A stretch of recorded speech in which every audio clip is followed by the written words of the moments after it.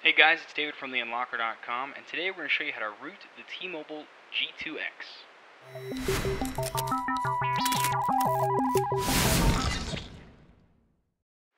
Okay, first thing you need to do is you need to install the driver so your computer can be uh, able to see the G2X. So we're going to click on this link here,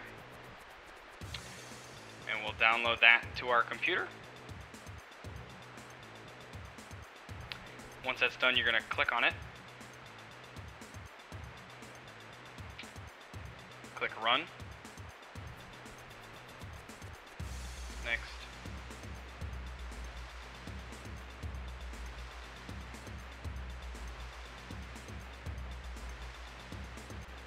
And wait for it to install the drivers.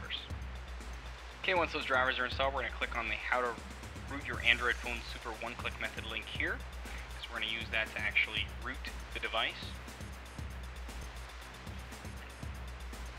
Then you're going to go down and go to root the phone and follow this section right here. Once you're done with that, we can go back to the procedure, uh, the original procedure and continue.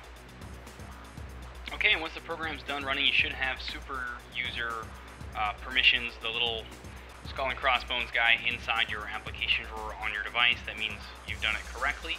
And now we can go on to flashing a custom recovery image uh, with this link here if you'd like, uh, which then leads on to loading custom ROMs and other software and stuff like that. Or you can just stay with uh, root access right now and use things like Wi-Fi tethering and stuff like that. So there you go. Enjoy.